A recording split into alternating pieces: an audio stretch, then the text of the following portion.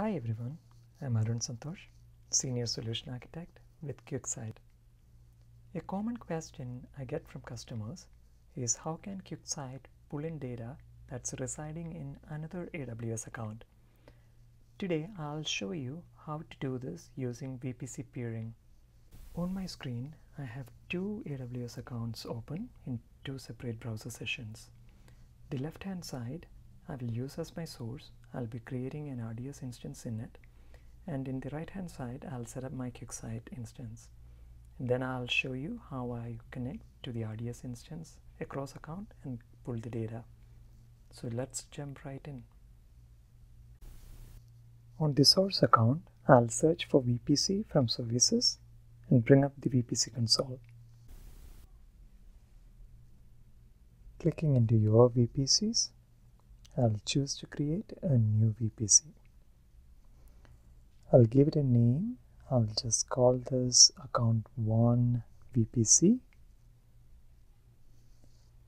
And I'll choose for the CIDR block 10.1.0.0 slash 16. With that, I'll choose to create the VPC. Now, on the target side account,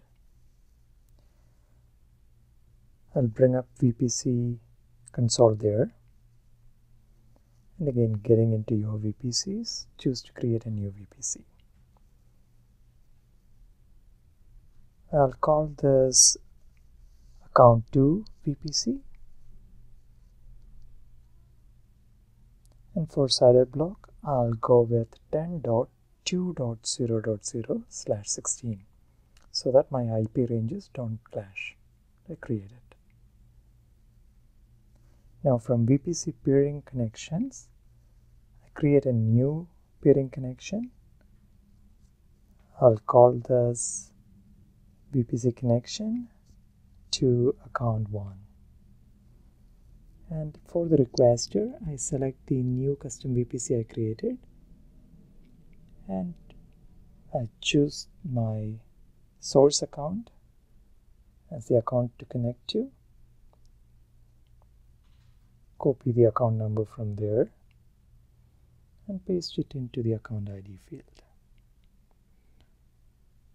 I'm going to do this in the same region so that can be left as is and for the VPC ID acceptor I copy the VPC ID from my source account and paste that into this box. That I'll choose to create peering connection it says that the connection request is successful and it's in pending acceptance state. So coming on to the source side, I go into peering connections and I see that connection request pending my acceptance. I choose to accept it here. And it shows up as active immediately. Now I refresh it on my target account and the connection state has changed to active there as well. Next, let's create subnets on the source account. The RDS instance will need minimum two subnets. So let's create two here. Click on create subnet from the subnet console and I'll choose the custom VPC account 1 VPC.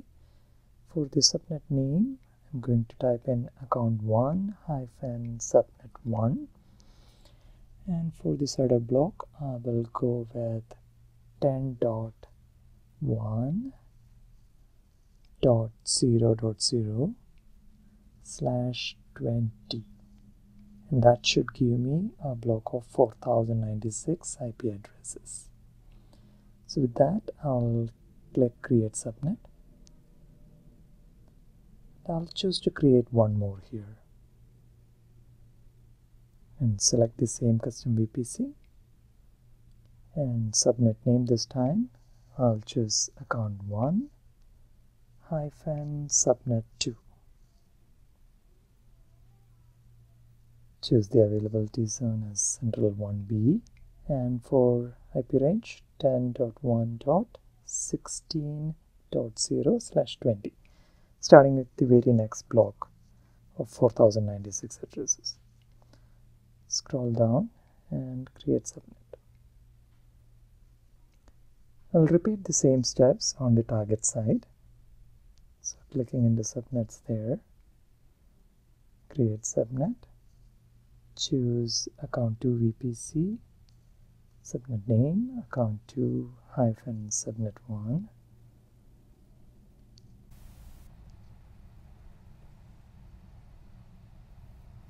and for the CIDR block I'll go with 10.2 0.0 slash 20 and create the subnet.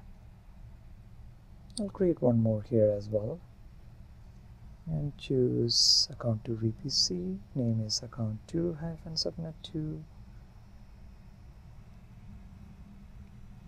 for availability zone I pick central 1B and then 10.2.16.0 slash 20 and create subnet.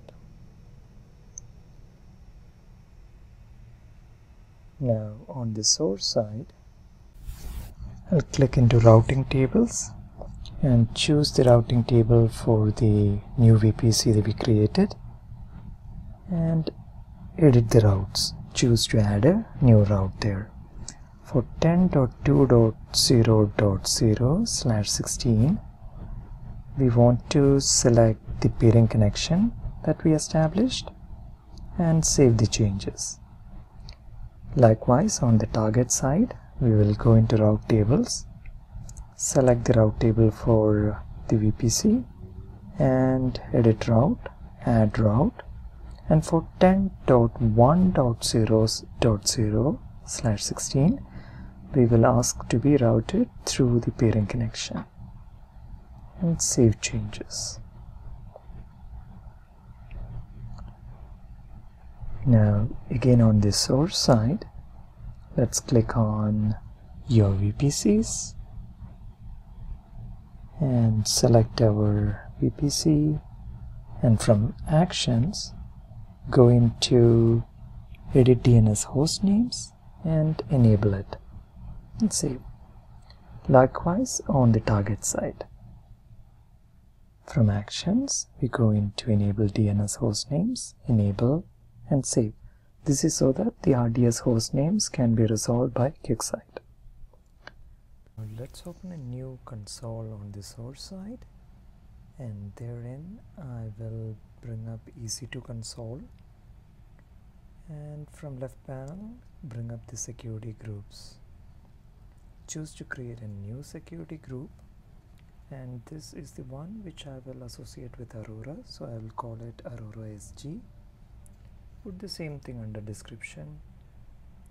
And choose to be associated with my new VPC delete the outbound rules. And for the inbound I will choose to allow traffic on MySQL Aurora port. That's 3306 and right now I do not have the QuickSight security group set up yet. So I will associate this with my default security group just for now and click create.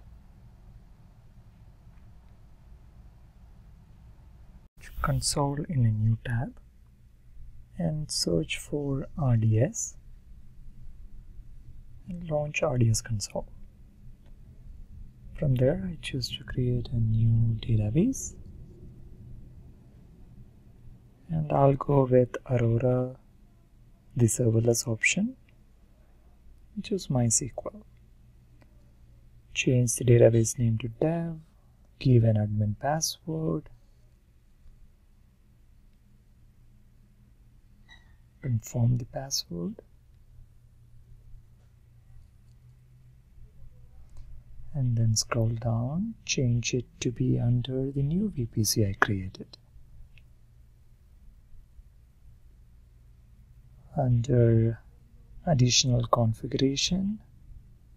Before that under security groups I select Aurora SG the security group which I created in prior step. And then under additional configuration I give the database name as devdb and create the database.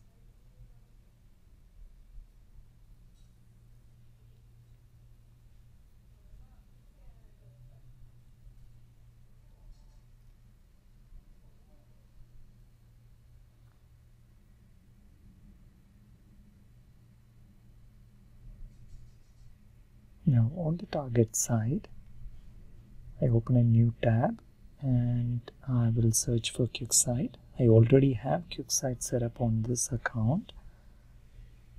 So I'll just open up the QuickSight console from here.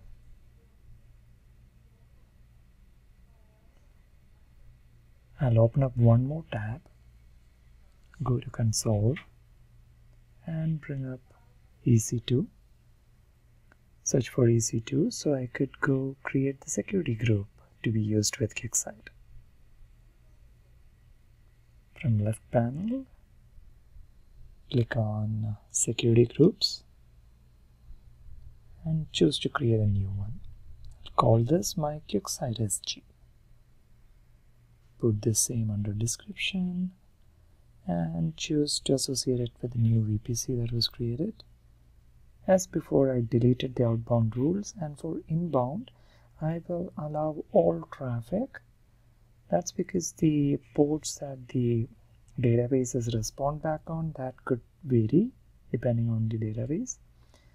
Now I copy the account number from my source account and I'll paste that into a notepad.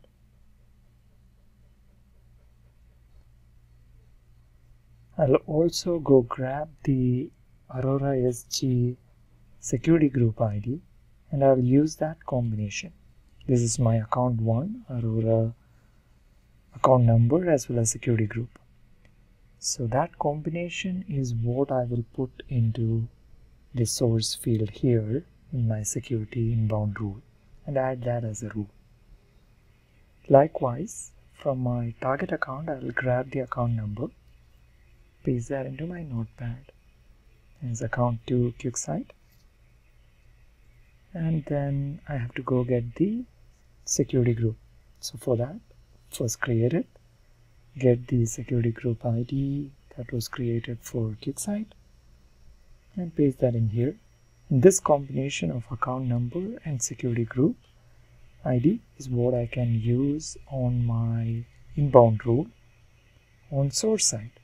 Remember I had put in the default SG before. I delete that now and instead I paste in the target account and QuickSight security group therein so allowing inbound traffic from QuickSight and likewise for QuickSight I am allowing all traffic from Aurora security group now shifting to QuickSight panel we'll go into management panel there manage VPC connections and choose to add a new VPC. I'll call this connection to account 2's VPC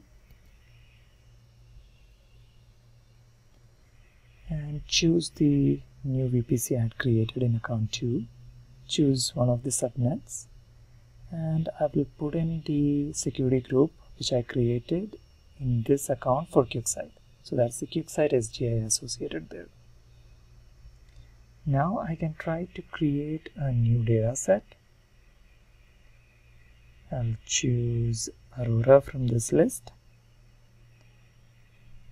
And for name, I will call this connection to Aurora MySQL on account 1. Choose my VPC connection and database type is MySQL.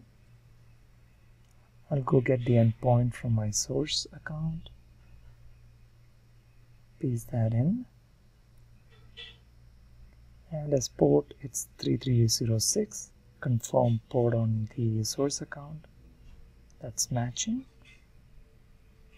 The database name I can find from configuration. I had used it as devdb. So copy that over and paste it under database name and username. For now I will stick with the admin user and password With that, I will try validating and I should get an error. And of course, I get the error that the VPC connection is not ready for use yet. It takes few minutes to stabilize. So I'll pause this video, come back and try this. Now I'll try this again. And you can see that the connection validated properly now. let's now make sure that this is really going in via the security group configuration that we did over VPC peering. So we will go into the Aurora security group and we'll just change that allowed port. Let's change it from MySQL to SSH port maybe and save that. Then we will try to validate this again and you will see that it's just waiting on that step. That's because network traffic is not able to get through. So let's go back and shift this back to MySQL in the inbound rules on Aurora side. Save that. And in few seconds we should see this connection being validated again. This concludes my demo on how you can use VPC peering to allow QuickSight to access data in other AWS accounts. Hope this was good use of your time. Have a great day ahead.